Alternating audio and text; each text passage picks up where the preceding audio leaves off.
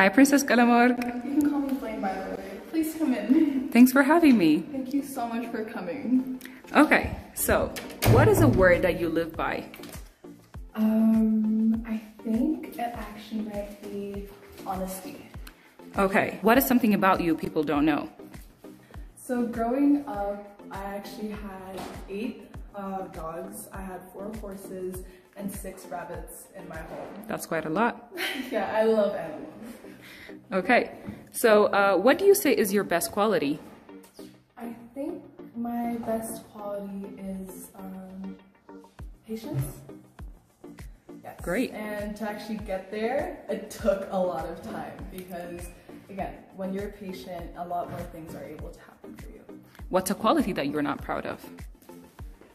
I'm a huge procrastinator. What advice would you give to a fellow procrastinator? So my biggest thing is actually keeping a daily planner and it's a three months planner. So it's not a yearly one. So I make sure to plan my days from 6 a.m. to 9 p.m. on a daily basis so that I'm always proactive. Okay. Are you seeing someone currently? Yes. What's your definition of a perfect date? Um, I think it's, so I love intimate first dates. So I don't necessarily like going to big crowded restaurants. So if there is a restaurant that is very low key and is very private, just an Italian restaurant, a candlelit dinner, just me and him is perfect. With roses, of course. Dinner and movie. Um, no, because I just feel like as a first date, if you go to a movie, you won't be able to talk and get to know one another.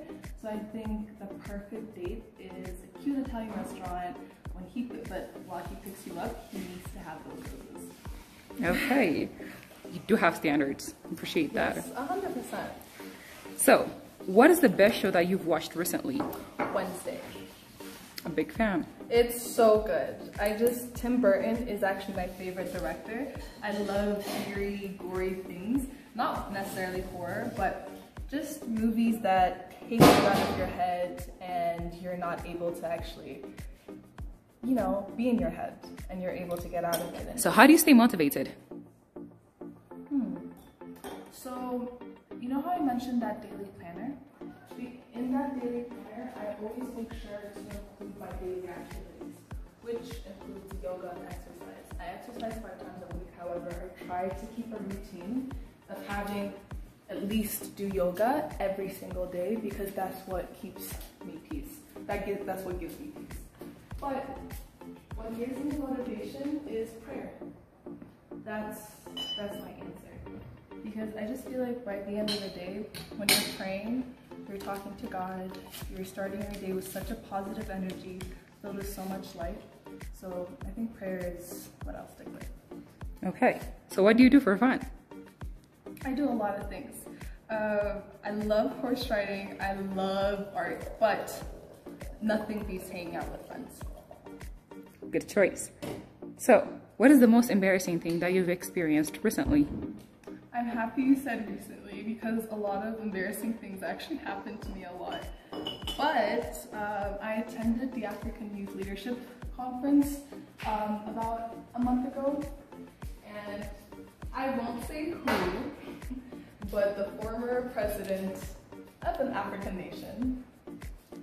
Um, we, I didn't know it was him, and we started getting into a debate and I completely went against his parliament and I against his specific views, not knowing I was talking to him until the end when he gave me his card. I understood that I was actually talking to a former president of an African nation. Yikes. yeah, that's my biggest what is something that you regret doing? Um, I don't regret anything actually. I feel like by the end of the day, as people, we're always growing day by day, not just every single year. So I honestly have zero regrets. I truly believe that everything happens for a reason. Great. Um, I'm sorry, I literally started preparing tea without even asking. Would you like some? I'd love some. Thank you. it's giving Bridgerton vibes. Obviously, this is a royal video. I'm just joking. It is a royal video indeed. So, what is the scariest experience you've ever had? Um, so I'm actually an adrenaline junkie. I love doing activities that kind of scare me. So I think it's actually going shark cage diving in Cape Town last year. Wow, that's quite intimidating, indeed. Not really. Like I said, I love things that race my heartbeat because I just feel alive when I do so. So Blaine, I see a lot of photographs and antics. Can you explain more? Absolutely. Um, come this way. So, um, my dad loves art. So do I. Um, but these specific portraits that you're actually seeing are um, our ancestor, our ancestors. So, as you can see here, it's Empress Haile Selassie. On the far right is Ase Selassie, and above him is Em- Empress Taitu. Wow. And so, like some of these muskets that you see up here, two of these were actually used during the Battle of Adwa. You're kidding. Oh, I'm serious. oh wow.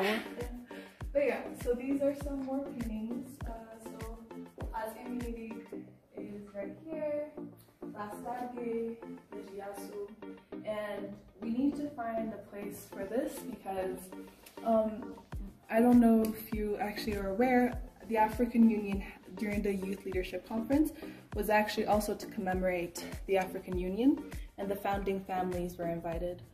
So this is one of the gifts that uh, Prime Minister Abiy Ahmed gave us. Wow. Thank you.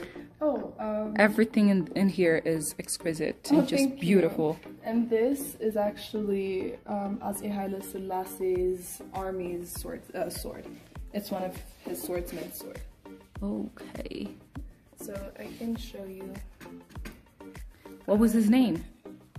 His name I do not know. We we collect artifacts, so that's why. But as you can see, it says Lejano He Kibir, Lahagar Fikr. Always a motto we live by. so um, we can go this way.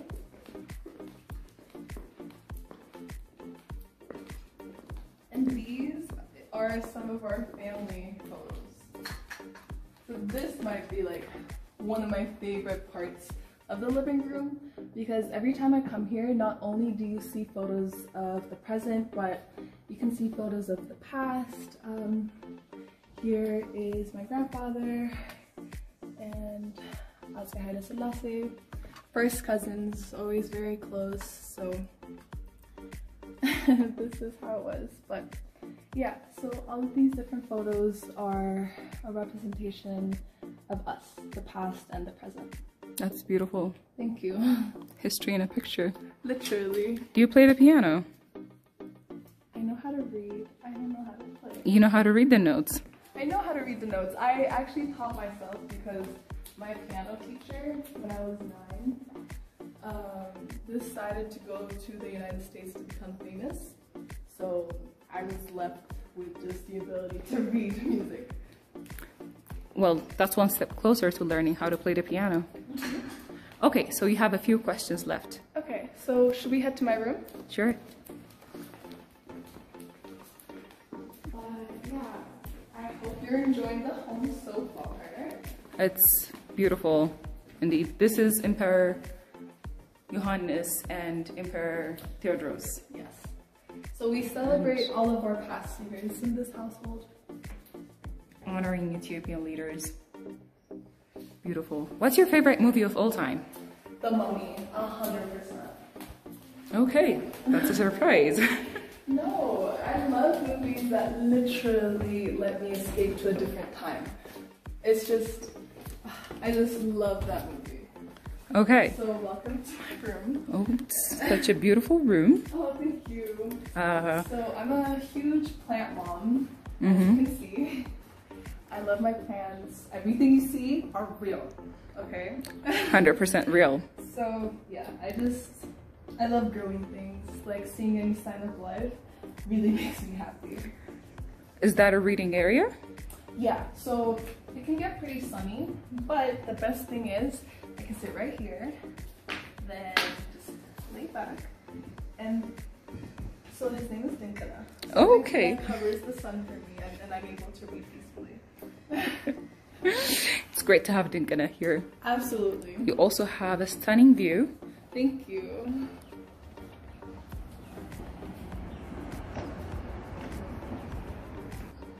And we have a telescope over here. Yeah, I still have to set it up. It's from my childhood, so we need to figure things out again. I'm trying to get back into it.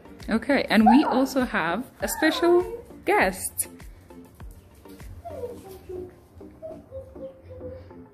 So this is my son. I love animals so much. But yeah, Whatever happened to the 10 dogs that you adopted? Over time, they passed away. And the bunnies? my dogs ate them. What is the most expensive item that you own? I think it would have to be my bags. but yeah. Got Louis Vuitton. Yeah, so it's just I I love I love my bags.